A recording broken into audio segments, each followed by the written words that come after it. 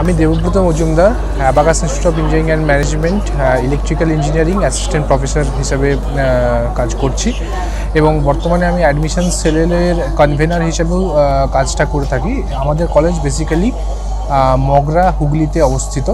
আমাদের কলেজে পাঁচটা বিষয়ে বিটেক ইঞ্জিনিয়ারিং কোর্স পড়ানো হয়, যেমন computer science and engineering electronics and communication engineering electrical engineering civil engineering and mechanical engineering এছাড়া আরও তিনটি বিষয়ে আমরা ডিপ্লোমা কোর্স রিসেন্টলি আগের বছর লঞ্চ করেছি। সেগুলি হলো সিভিল ইঞ্জিনিয়ারিংয়ের আন্ডারে construction automation computer science and technology ডিপার্টমেন্টের আন্ডারে কমিউনিকেশন অ্যান্ড কম্পিউটার নেটওয়ার্কিং এবং মেকাট্রনিক্স আমাদের college basically joint initiative of Techno India group এবং জেআইএস গ্রুপ দুটো যে main pillar of engineering education in West Bengal তাদের আন্ডারে রয়েছে।